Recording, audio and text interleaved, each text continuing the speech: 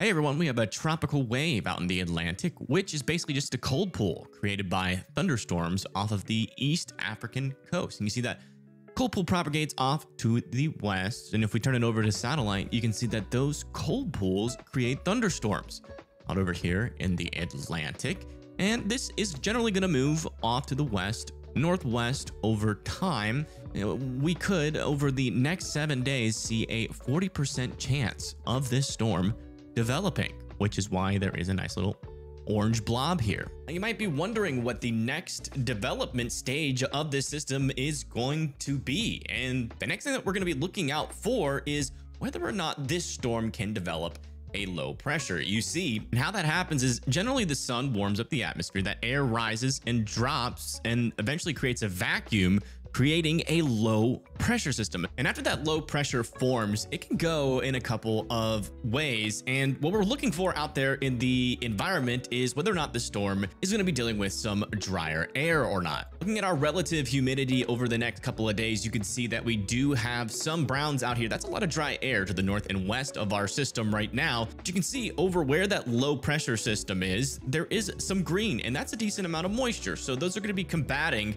over the next couple of days. And as we go into the 5th of September, you can see that the storm is going to be battling it even more. But that low pressure system could eventually develop into a tropical storm, and that'll be Tropical Storm Gabrielle. There is definitely some things to keep an eye out on this storm, though, because if it tries to battle this dry air a little bit unsuccessfully, it won't be as strong as this. But if it can go kind of modeled like it is, then it could develop in the next couple of days. If we look over at the Euro Ensemble member, though, you can see that it isn't as favorable of a environment around this storm as it pushes off to the west. So there's definitely some differences in between our models. One of the things I've been noticing over the past couple of runs is, is that if we go back into previous runs, you can definitely tell we've had a little bit of a southern shift on our latest models. And this is pushing our storm further down to the south. Does, now, does this mean that there's going to be, you know, some big change to our forecast down the line? Well, let's go look at it. Okay, so here's the Euro on the last run. And as I push this forward, you can see we got a bunch of little model members out there. So there's some decent agreement that this storm will get started as we go into around September 7th to September 8th, which again, still pretty darn far out there. We just got into September very recently here. So, we, you know, we're talking about today's September 1st. It's going to be around September 8th. So we're about seven days out here. But generally, that's a pretty consolidated spread of our model run, still pretty far down to the south. And as you can see, some of our models do bring it into the Caribbean near Puerto Rico, but a lot of them are still spread out further up to the north. Our most majority of them are more further to the north. We haven't seen any significant shifts down to the south in the long term, other than in the short term. So will those shifts down to the south in the short term eventually impact our models in the future? That's really going to depend on where our high pressure and low pressure systems kind of hang out here. You can see we're generally going to have a high pressure system further up to the north in the central Atlantic, and that is eventually going to spread out to the west a bit, keeping our system further off to the west. But as you can see, as this low pressure system pushes up against this high pressure system, it creates a weakness on the western side of it. So if our storm is stronger, it, it will try to sneak up to the north as soon as that happens. If it's a little bit weaker, it might stay a little bit further to the west, but generally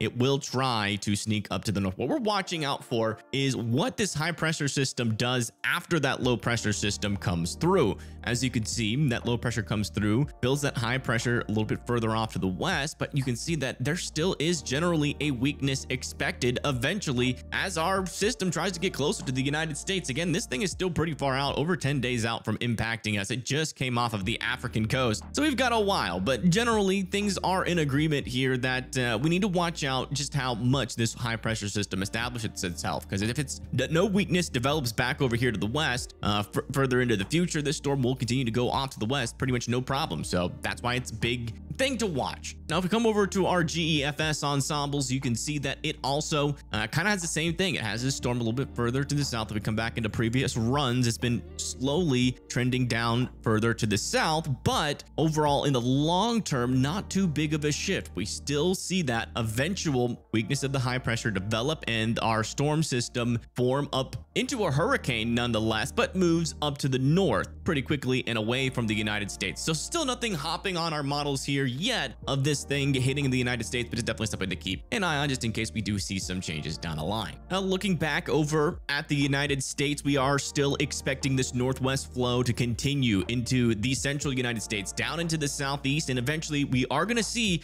this trough eject, this little low pressure system eject into the United States. That's going to bring some shear, some stronger winds above our heads down to the surface, which will allow for, you know, some of moisture to advect up to the north. And we could be talking about a severe weather threat as we move into the Ohio Valley with this trough and potentially over here near the Appalachians over into Pennsylvania. Coming down to our lower level winds, if everything can line up correctly, which it's looking like it might not, but we'll continue to keep an eye on it. Could have some lower level shear in there as well. If we have enough forcing, we could see some storms get started. Really anywhere from like the Kansas area over at around the 3rd of September, back over into the southeast, going up into the Appalachians, like over there near Pennsylvania, over there into the East Coast. We'll have multiple opportunities from the 3rd to the 4th to potentially produce some damaging winds, some large hail, and maybe a tornado threat. But again, in order for that tornado threat to happen, we've got to see everything kind of line up just perfectly. And this is going to be a pretty disorganized system, but it's something to keep an eye out for. Speaking of severe weather, we are expecting a marginal risk for severe weather out over here near Oklahoma and parts of Kansas. You can see throughout the day today, we're going to be seeing some disorganized showers and thunderstorms, really from Wichita back over here just north of Oklahoma City, near like the Woodward, south of St. John area. That should continue at around 7 to 8 p.m. and then eventually maybe could see some more storms to the east of Wichita, some of those which may be severe. And then after that, we see those storms start to fall apart. Going into tomorrow, September 2nd, we are going to see the return of some severe weather back up here near North and South Dakota, going into Minnesota as another little short wave, kind of the leading edge really of our trough coming into the United States. You can see that that pushes down into the St. Cloud and Minneapolis area eventually. Then as we go into the afternoon, we could see some even more organized severe weather south of Fargo by around 4 p.m., down near St. Cloud, Minneapolis, and then back over there near Clear Lake, South Dakota by the time we get into 7 p.m. And then eventually that line of storms continues to move down to the south and east towards Mankato and Sioux Falls as we go into the overnight hours, and that could push down into Iowa. But as you can see, a lot of this is outflow dominant. Maybe we see a little bit of a southern extension of our marginal risk if this looks a little bit more organized. But as that daylight heating goes away, these storms will struggle. That pushes through, and then by the time we get into the day after tomorrow, you can see that frontal boundary is going to continue to push down to the south, and we could have thunderstorms and maybe even some severe weather capability all the way from Wisconsin down over there near Davenport, near Kansas City and Wichita, but it's probably going to be the most organized back over here near Kansas and Kansas City, and parts of the Missouri area as well, little parts of Nebraska. Yeah, generally a large line of storms will push down to the south and east. That's going to bring the chances for some severe weather, damaging winds, not really too much of a tornado threat, but if we get some weird boundary interactions, we might have a small tornado threat back over here near Topeka and Kansas City. Now, in terms of temperatures across the United States, that northwest flow and that trough coming in is going to bring down a cool down. But before that happens, it's going to warm up a little bit over the next couple of days. From today going into tomorrow, we're going to be in the 70s and 80s across most of the country with some isolated pockets in higher elevations with lower temperatures. And then eventually we're going to see that trough chart to dip down into the northern portion of the United States as we head into the third. That's going to bring some 40s and 60s up there. It's still generally warmer though, back over into the south and southeast, going into the north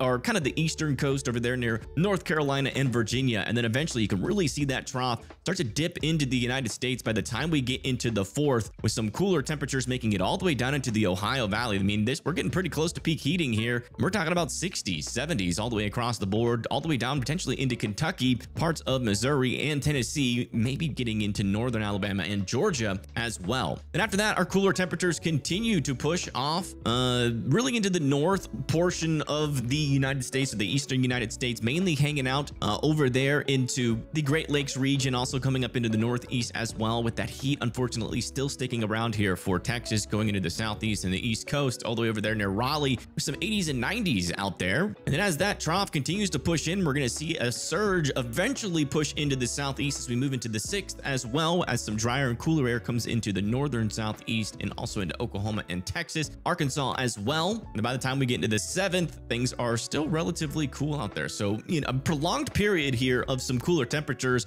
mainly up here for this region, but it could make its way as far south as the southeast. But again, with that battle line kind of being right here, could be some changes in the forecast as it could be a little bit warmer or maybe a little bit cooler and drier than what is forecasted right now. And that really just depends on how much that trough ejects down to the south into the southeast. Yeah, hopefully y'all enjoyed this little animated forecast at the beginning of it. It was very hard work. It took me about three hours just to make that beginning part. I'm not sure if I'm, I'm going to do it every video, but it was a fun experiment. And, and yeah, but we're going to be keeping an eye on everything. We'll have another video tomorrow. I think I'm going to start doing daily uploads, even if there's not anything happening, just to get something out there so you guys can wade through all the misinformation or whatever is out there. But anyways, thank you guys so much for tuning in, and I will see you guys uh, on the next video. Peace.